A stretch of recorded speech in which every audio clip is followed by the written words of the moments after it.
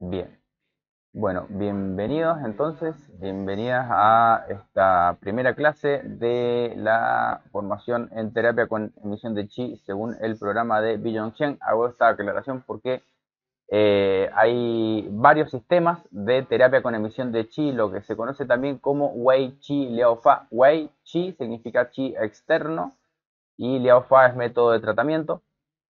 Dentro de la medicina china también se engloba esto dentro de lo que es la, gran categoría de eh, Qigong médico. Pasa que Qigong médico como, como categoría es más amplia porque incluye tanto la parte preventiva, que es Qigong para la salud, la parte de rehabilitación, que es terapia con ejercicios de Qigong, y esta parte de terapia con emisión de Qi, que es el, uso de la energía del terapeuta para operar sobre el paciente, eh, sin intermediarios como podrían ser la aguja de acupuntura o algún otro instrumento, es directamente el campo energético del terapeuta sobre el, paciente.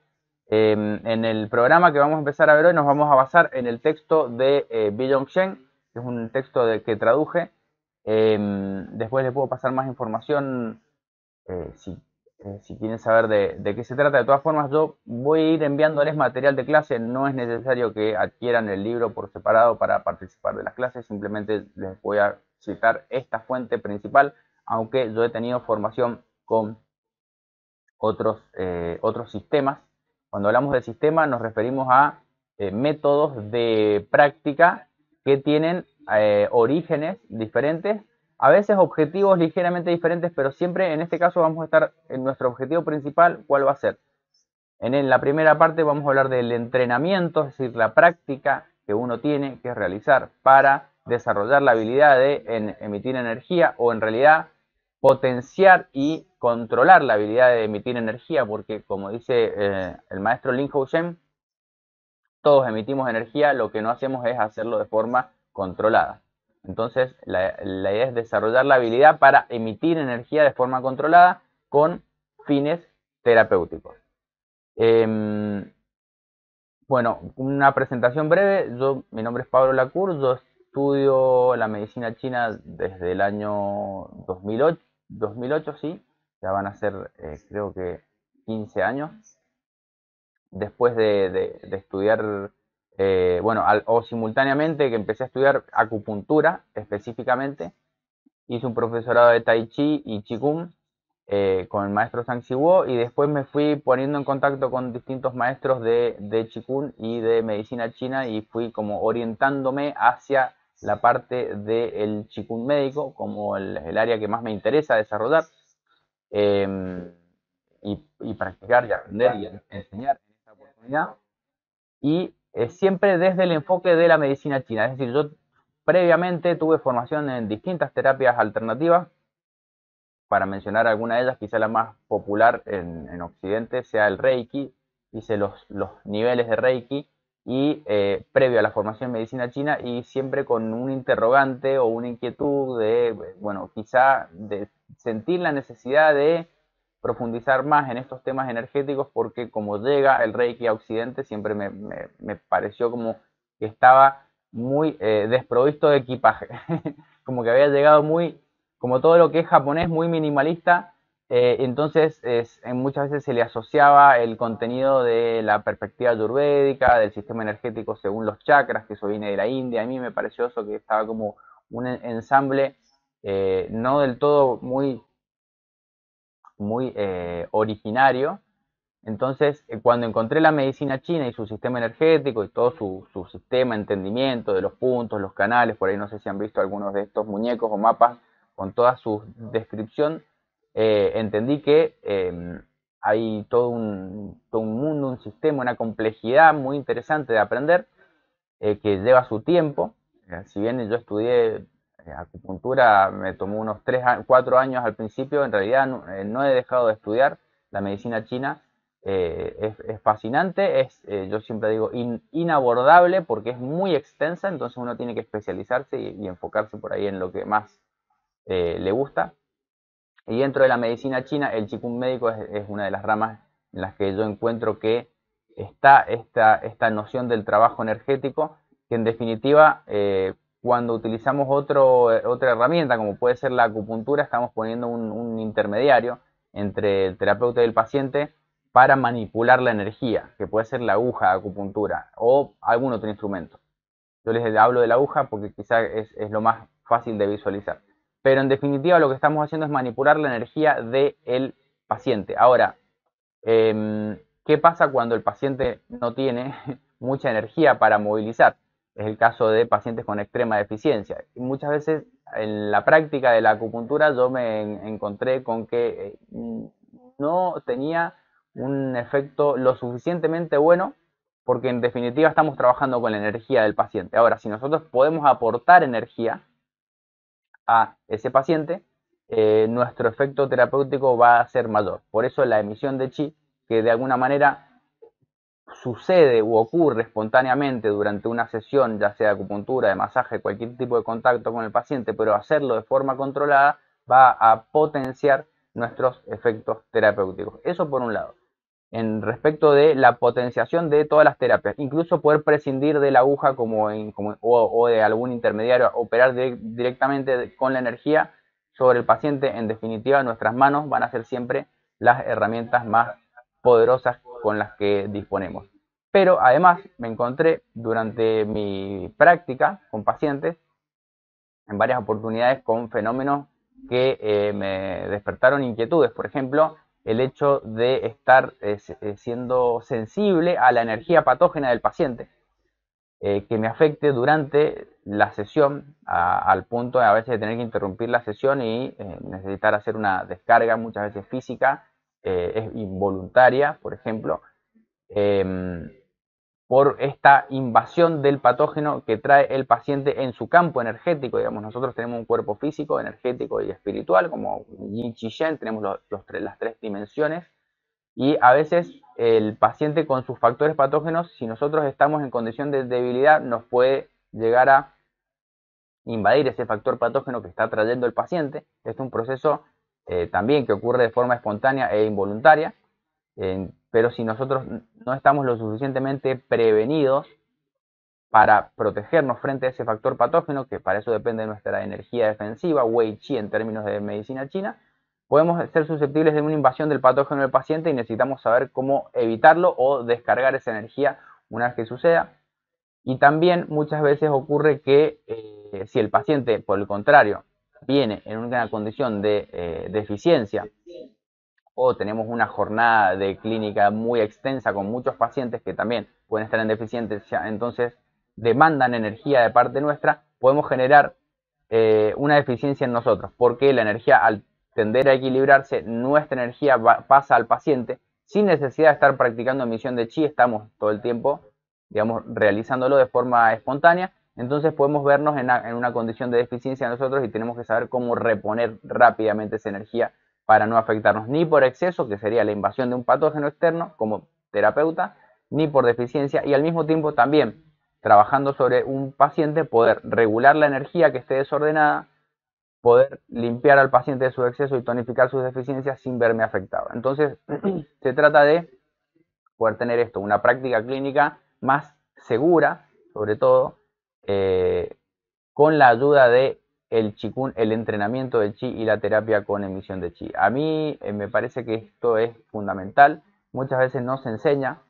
Hay personas que eh, tienen una, buena, un buen estado de salud, una, una, buena constitución física y quizá no necesitan tomar más precauciones que mantener su estilo de vida saludable para poder desenvolverse naturalmente en la práctica de su de su clínica, estar frente a pacientes, etcétera, pero a veces, eh, en muchas oportunidades, los terapeutas que no tienen un entrenamiento energético están eh, siendo susceptibles de verse afectados, lo cual no solamente va a eh, alterarlos a ellos, sino a su calidad como terapeutas y también a su entorno familiar, porque una persona que llega del trabajo a la casa energéticamente afectado también está influyendo con ese estado energético a sus cohabitantes, muchas veces a su familia, a su pareja, eh, etc. Entonces tenemos que tener eh, precauciones en, la, en todo lo que es trabajo energético y para eso nos sirve el entrenamiento con la energía. Ahora, hablando de los sistemas que les había mencionado,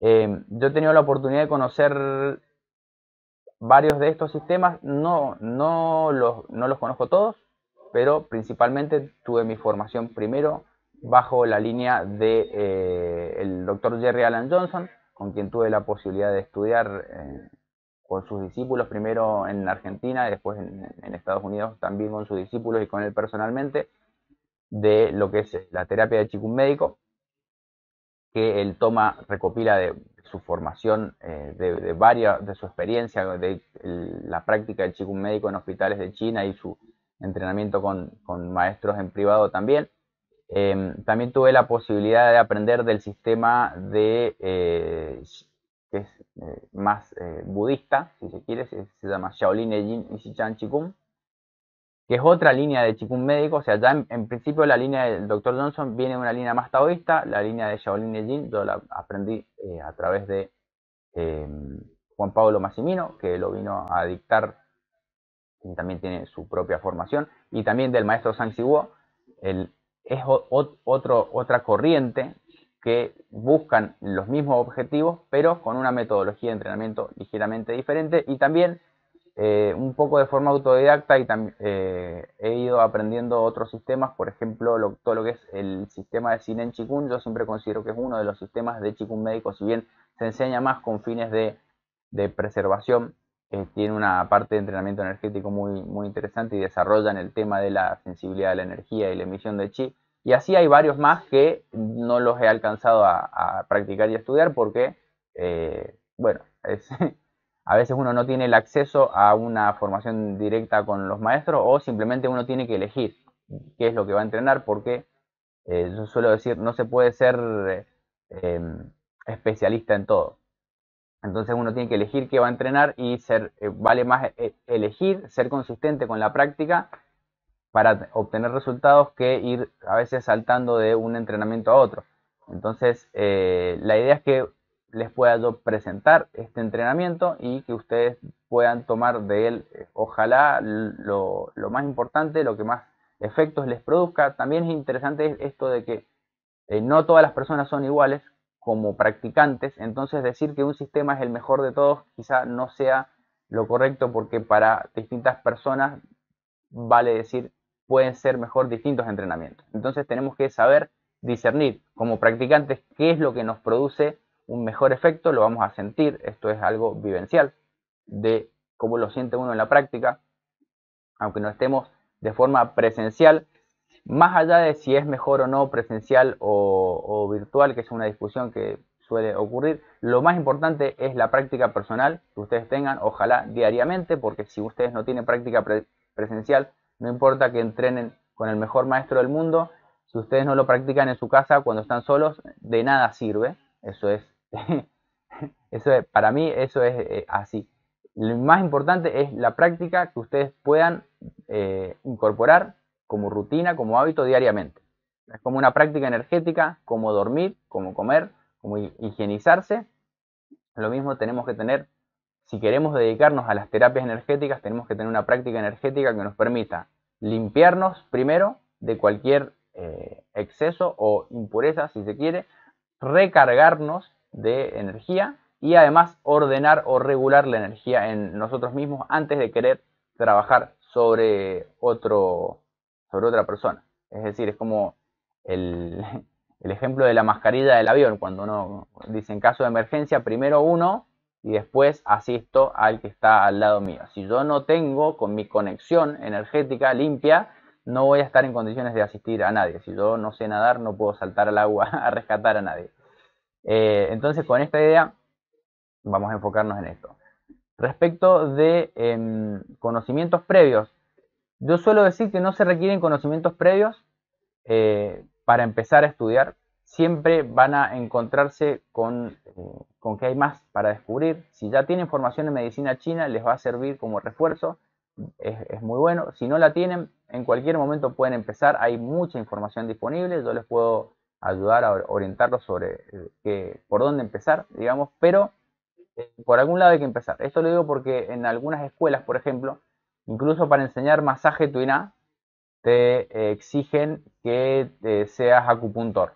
por ejemplo, y tengas o, tengas una base de medicina china que, se entiende, que es necesario, es, decir, estudiar el cuerpo humano, el diagnóstico, los canales y todo eso, es importante. Pero por algún punto tenemos que empezar. Podemos empezar por la teoría o empezar por la práctica. A mí personalmente siempre me llamó más la atención la práctica, entonces empezar por la práctica energética creo que es muy buen punto de partida y nos va a dar también la motivación necesaria para después ir a la teoría y eh, buscar aquello que, ya estamos vivenciando. Entonces la práctica es importante. Me habían preguntado ahí en, la previa em, cuánto practicar, cuántas veces al día. Bueno, es esto, la idea es que apelemos, les decía, al principio de la autorregulación, que ustedes puedan eh, saber cuánto es suficiente para ustedes y eh, siempre con la idea de que es mejor prácticas pequeñas sostenidas en el tiempo, es decir, que yo pueda ser constante, que yo pueda practicar todos los días, por ejemplo, que hacer eh, grandes sesiones de práctica, por ejemplo, me voy a un retiro y practico cuatro horas por día y después si vuelvo a mi vida normal y no sostengo la práctica, no, eso, todo eso que logré en un retiro o lo que sea, eh, no se sostiene en el tiempo. Entonces es como tener picos y valles y eso energéticamente no, nos va a dejar en buenas condiciones de hacer emisión de chi. Entonces la idea es mantener un nivel de regularidad a través de la práctica que eh, pueden ser al principio 15 minutos, media hora, una hora, lo que cada uno de ustedes pueda ir disponiendo. Hay una recomendación, yo les diría que una hora de práctica por día puede ser un buen número como, como objetivo. Yo creo que eh, es algo que no es, no es demasiado ambicioso pensarlo. Em, incluso dividido en sesiones, en sesiones, por ejemplo, a la mañana, a la tarde, a la, noche, eso vamos, vamos a ver, distintos momentos del día tienen distintas características, pero lo importante es que sea algo que podamos sostener y siempre tener como, eh, o tener definido, por lo menos en lo personal, yo lo trabajo como, bueno, una práctica mínima, que es lo que yo necesito, sé que necesito para estar bien, y una práctica ideal que, a la cual voy a atender, porque muchas veces no vamos a estar en condiciones de, hacer esa práctica ideal en cuanto a eh, eh, condiciones de, tiempo, de espacio, de lugar, pero sí tenemos que tener una práctica mínima que eh, nos permita mantenernos, porque en el momento en que dejamos de hacerlo es como dejar de comer o dejar de dormir.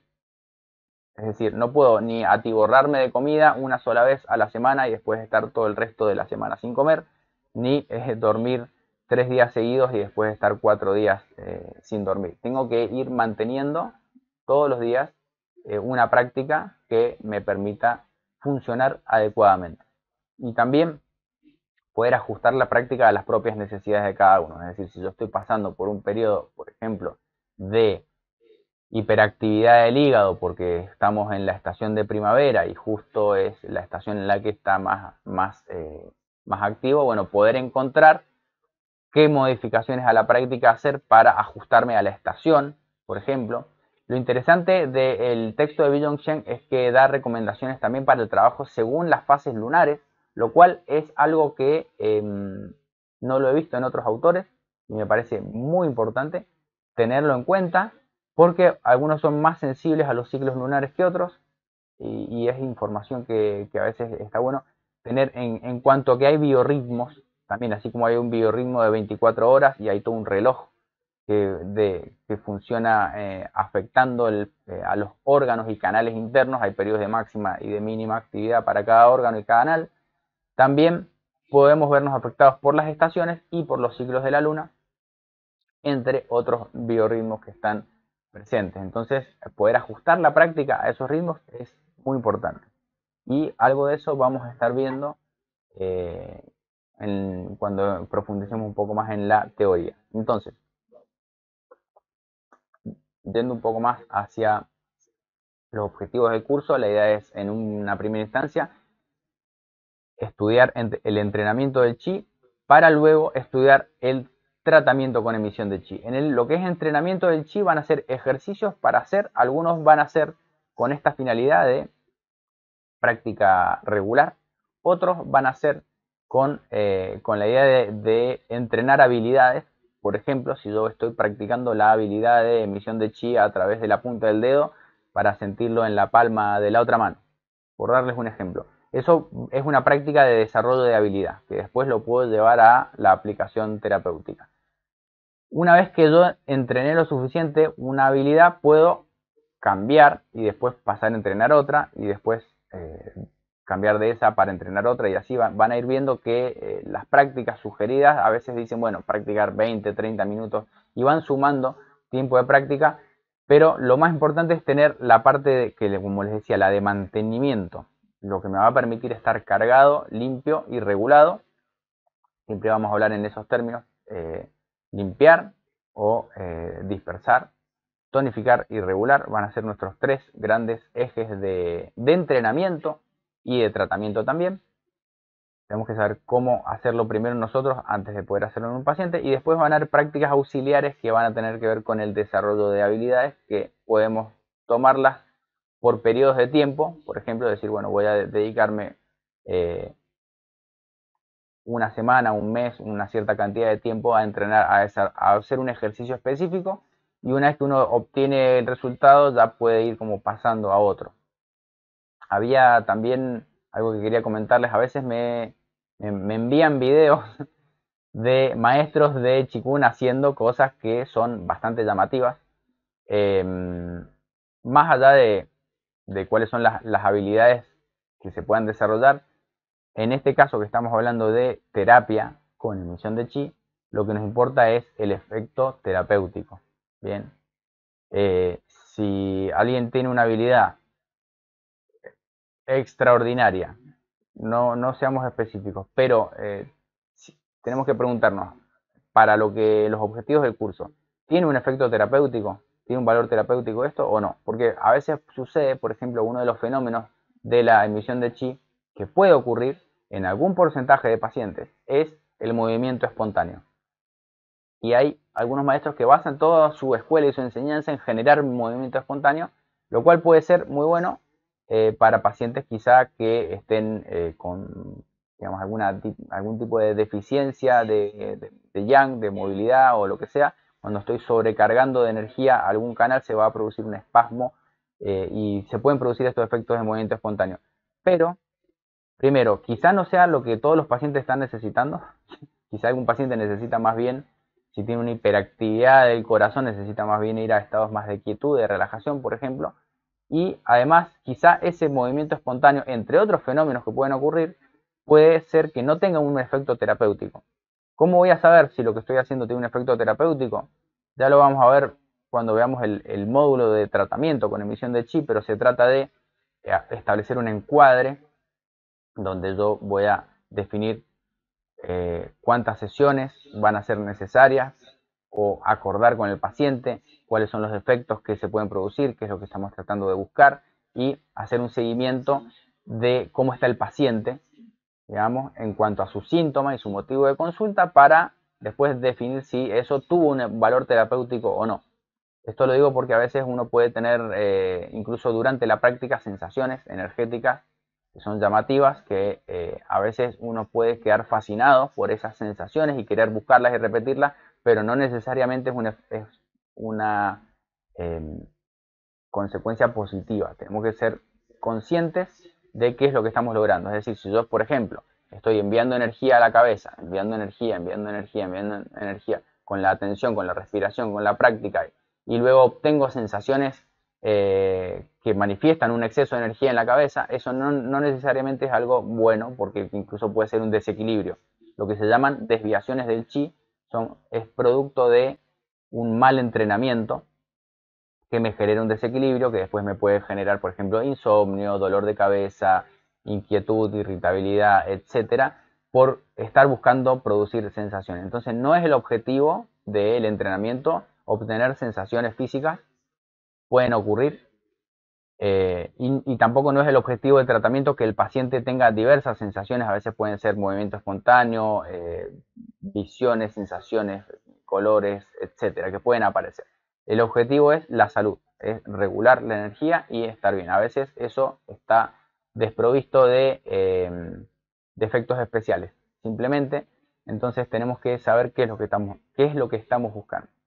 Bien, eso es importante respecto de, eh, del entrenamiento.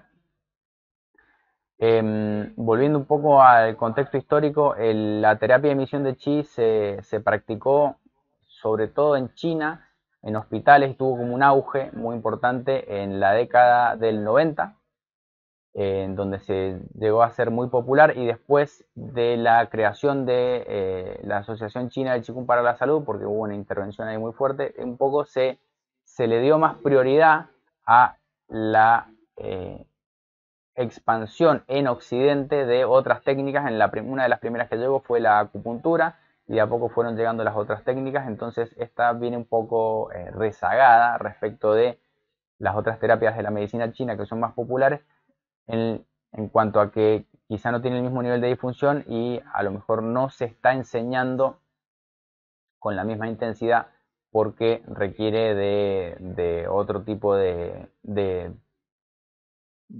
calificación por parte de los maestros que lo puedan enseñar. Entonces, eh, más allá de esto, nosotros nos vamos a encuadrar dentro de la medicina china, siempre con su teoría de fundamentos de medicina china, teoría de órganos internos, teoría de canales, teoría de factores patógenos, toda, toda la teoría de la medicina china la vamos a estar utilizando también en el tratamiento. Entonces, algo vamos a ver de canales, eh, de anatomía energética y eh, como complemento también a cualquier otra terapia que ya realicen. Va a ser un muy buen complemento. Entonces, quizá, si ustedes no conocen otras técnicas terapéuticas, su sesión pueda eh, estar compuesta solamente por emisión de chi, lo cual está muy bien. O también, si ya realizan otras terapias, puedan potenciar sus terapias añadiendo también la, emisión de chi a las terapias que ya están realizando. Em, aportando, como les decía, desde la medicina china, aunque también puedan ser ustedes terapeutas de otros sistemas. Bien,